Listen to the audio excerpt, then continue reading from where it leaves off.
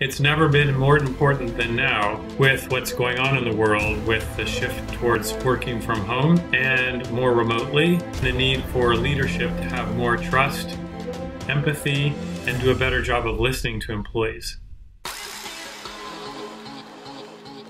My team and I were given the opportunity to reinvent the idea of what is HR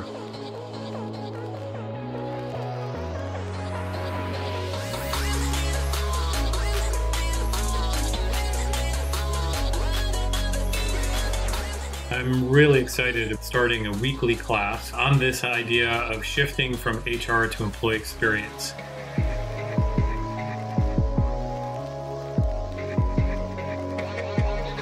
To make sure that the things you're trying to accomplish are coming to fruition through this shift.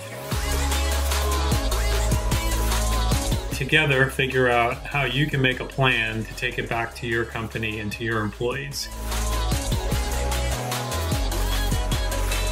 We'll look at things like how to treat managers and employees differently by listening to them, how you work differently across the HR function, how you work with adjacent functions that support the employees in a similar and consistent way across the employee journey.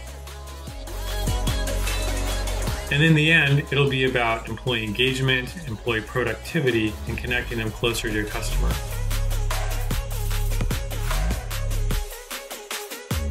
I look forward to working with you.